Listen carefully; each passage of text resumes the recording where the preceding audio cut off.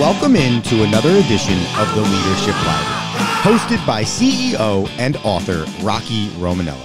Rocky is the author of the book Tighten the Lug Nuts, The Principles of Balanced Leadership, and has over 40 years of business experience as a prominent member of the UPS Supply Chain Solutions team, as well as the CEO of UniTek Global Services. So sit back, grab your notebook, and take a seat, and get ready for this edition of the Leadership Library. Welcome to the Leadership Library. I'm your host, Rocky Romanella. And in our past episodes, we've talked about such topics as goal setting, why values matter, aha moments. Today, I'd like to talk a little bit about what I consider those significant events that take place during your career that help shape your thought process, maybe your strategic view of things, but also the way you tend to make decisions. So for me, I had two significant events that took place that became my aha moments in a smaller way to help guide my decision making process or at least narrow my strategy and focus on how I made decisions. So let me tell you the first story. My youngest son, Andrew, was struggling with math in school. I'm home one night from all the traveling that I'm doing, and my wife Debbie looks at me and says, Hey, the little guy's struggling here a little bit. He's got this concept of greater than or lesser than that they're working on at school. Maybe you could jump in here, Dad, and help him out. So I come over, sit down. I'm thinking about it. We're doing ROIC at work. We're talking about, you know, P&Ls. I, I got to be able to help him out.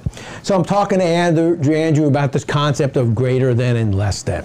And so it's really not going too well. And so I take, at the time he's playing hockey, so I take two hockey pucks and I put them here. I take three hockey pucks and put them here. And I said, Andrew, what do you got here? What does this mean? And he's just staring at me. So then I said, I got it. I take a piece of paper out. I draw the greater than and less than arrows. And I said, Andrew, what does this mean to you? He said, fast forward and reverse.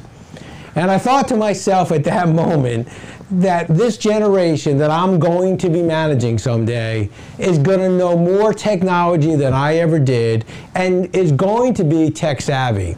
And if I was going to manage that group of people someday, I was going to have to be tech savvy. I can no longer count on the person that we have in the organization to come and fix my computer or teach me how to do Excel or do those kinds of things. And so that moment I thought to myself, if I'm going to be a successful leader, and if I'm going to be able to lead this next generation of people in our organization, I had to take it, you know what? I had to just suck it up and learn technology and try to become as fluent as I can. So that was a significant event for me as I started to think about motivating and leading people in our organization who are much more tech savvy than I ever was.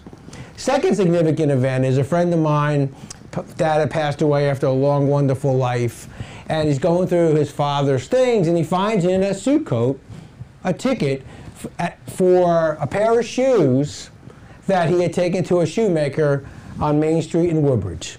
And he wonders, I wonder if the shoes are still there. Shoemaker's still there. And so he decides, gets up enough courage, and he's going to walk over to Main Street and give this old shoemaker the ticket. Shoemaker looks at the ticket, turns, comes back, and says, Hey, They'll be done a week from Thursday. Now, those shoes have been in there for 35 years. What's a significant event there? Procrastination is going to kill you. We're all going to procrastinate at different times. Sometimes the procrastinations are good, most times they're not. And so you want to get to the spot. The person who gets to that spot tends to own the spot and tends to carry the day. So those are my two significant events.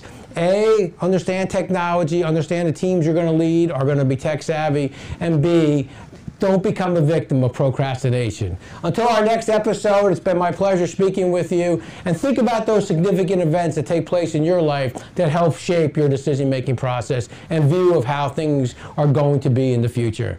Until next time, be safe and talk to you soon.